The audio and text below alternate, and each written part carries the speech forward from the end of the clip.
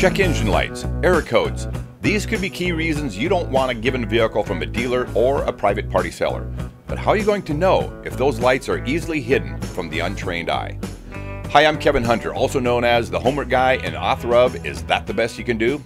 From day one, I've advised you to have your own mechanic inspect any used car you're thinking about buying. In this video, you're going to understand just how critical this is and how easily you can be fooled by the lack of a check engine light or error codes on your vehicle. Any dealer or private party seller that hesitates to allow you to have your own mechanic inspect the car is a seller you should be walking away from or run if you need to. To send home this point, I brought in a good friend of mine, a seasoned mechanic, to demonstrate what can easily happen to you. Ruben Byman is the co-owner of Longview Auto and Tire. He comes from three generations of car buffs and a family full of mechanics. In fact, his father Steve taught automotive technology at the local college for decades, and three of his sons are graduates of his program. Ruben is one of them. Going back two generations, Ruben's grandfather Eno was a car buff, working on what are now collectors' cars and trucks. Eno is no longer with us, but Ruben's father Steve can still be seen driving Eno's favorite truck around town, a 1937 Ford. Ruben is coming on in just a moment. Before we do that, if you're tuning into the Homework Guy channel for the first time, consider subscribing and leaving us a comment below. Add hashtag the homework guy if you'd like a direct response from me or one of the members of my staff. You can also email me at info at thehomeworkguy.com if you have a specific question. And if you'd like a free car contract review, just send it along with your personal information blacked out. Just be aware that we get a lot of requests and we try to get back to everyone as quickly as possible, so please be patient. All right, let's have a discussion about error codes and check engine lights. Do you have a friend or family member who is a good mechanic or owns a repair shop? If you don't and you drive a vehicle, you need to establish that relationship. If you don't drive, what are you doing here today? Sorry, I digress. A great mechanic like Ruben Byman can prevent you from buying a complete lemon and also give you peace of mind on any vehicle you're about to buy. He can tell you that you're looking at a really great car. Do you understand how valuable that is? A good mechanic looking at your car can tell you that there's nothing to worry about, saving you thousands of dollars on service plans and extended warranties that dealers just love to sell you. On the flip side of that, when you find out that the vehicle you're about to buy could cost you thousands of dollars in repairs, don't be thinking about a service plan. What you should be thinking about is, I'm going to pass on this car and find a vehicle I can drive without the significant expense of a service plan. A mechanic can help you do just that. A service plan is nothing short of a dealer saying, Your car is going to break down. We know that, but when it does break down, we might fix it. I get to say that because you have no idea how many people buy a service plan only to find out it covers nothing the moment something goes wrong. Today, you're going to witness firsthand how easy it is to disguise check engine lights and error codes, and this can happen to you either from a vehicle you buy at a dealership or a private party seller. Shady dealers and unscrupulous private party sellers have been known to dump problem vehicles with erased engine codes on an unsuspecting buyer, and you don't want that to be you. Before Ruben comes on, I want you to understand how this can happen to you.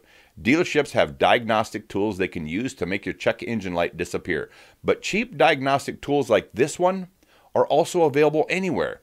Anyone can get them and make your check engine light go away without fixing the problem. However, simply using a tool to make a check engine light disappear doesn't fool a seasoned mechanic like Ruben Byman. Without a visible check engine light or other error codes being displayed on your dash, Ruben can tell if codes were cleared simply by using an advanced diagnostic tool. You see, most vehicles run their own onboard test, and check engine lights will come back, usually within 100 miles or less of driving.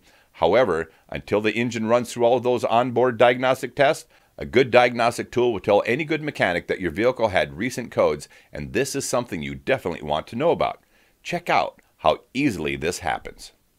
Take a code reader and we're going to look at the codes on this van. Then we're going to clear the codes and see what happens after on the code reader.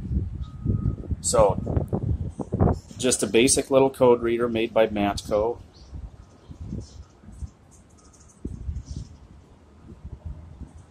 We have some oxygen sensor codes in here.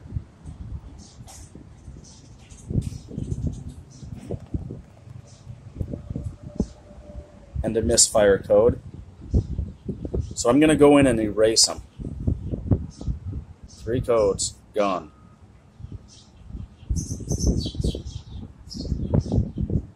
The check engine light's going to be gone.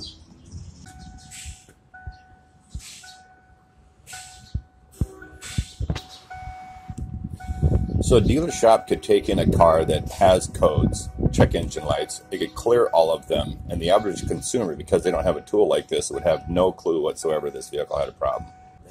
They could just clear the code without actually addressing the problem. They could clear it without addressing, or they might have actually, they might have legitimately fixed the problem, cleared the code.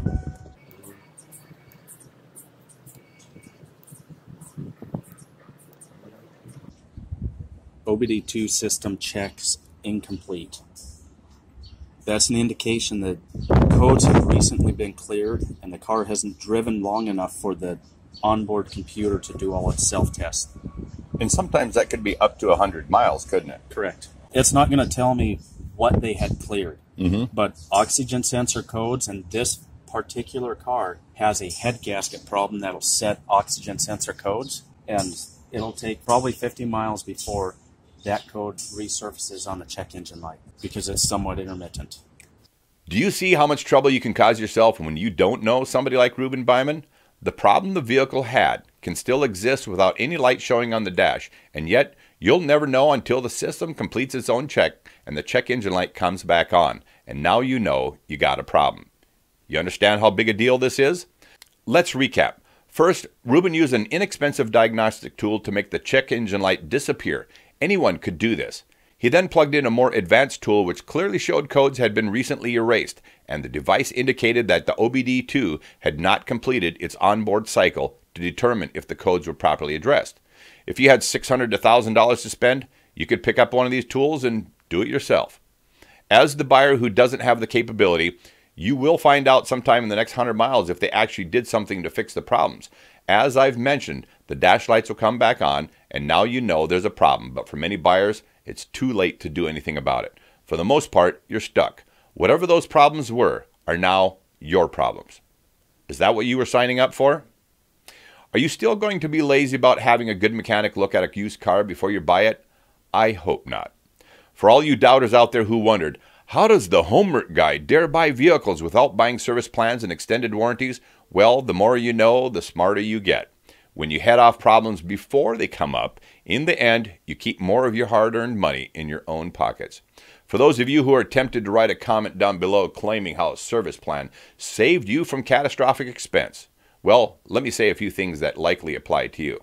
First of all, you stink at vehicle selection. Second, you ignore red flags that are obvious to others.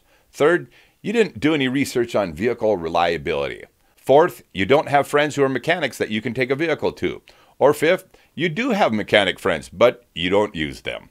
Or perhaps you're just too lazy to do any of the things I described in this video and you'd rather blow a few thousand dollars on an expensive service plan or an extended warranty and not even think about it. If I just described you, nobody should be following your example. Don't worry, some people still will because, as Ron White said, you can't fix stupid. For all the smart people out there, I just showed you how your mechanic can save you thousands of dollars of expense on service contracts, hours of frustration of inconvenience sitting in a repair shop or on the side of the road, and lost time at work. Spend the $125 or whatever it costs to have any used car you want to buy properly inspected by a good mechanic. You got that? On a random note, I also wanted to mention that with all the social distancing requirements in place out there, we recently noticed that dealership finance officers had their hands in their own pockets. I know, mind blown, right? Hopefully, a few of you sharp cookies caught that. All right, if you appreciate the video today, consider giving us a thumbs up and leave a comment below. And do me a favor, would you? Include hashtag the homework guy in your comments below. Share the video on social media with your friends and use hashtag the homework guy again. Also, for anyone who'd like a question they want to bounce off of Ruben Byman or one of his great mechanics, use hashtag keep going along with your question in the comment section below, and we'll forward your questions to get you an answer.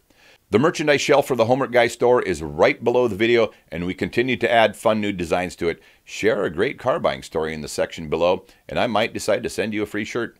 And for those of you who like to say thanks with a tip, I'll leave the links for the Cash App and the PayPal in the description box below. I've helped millions of car buyers with videos and free car contract reviews, and I'll keep you up to date with videos just like this one. I have a follow up video to show you what a proper vehicle inspection might look like when you take it to a great mechanic to look at it first before you buy. You're not going to want to miss that. Thanks everyone for coming back. I'll see you soon. I'm Kevin Hunter. Until next time, take care, everyone.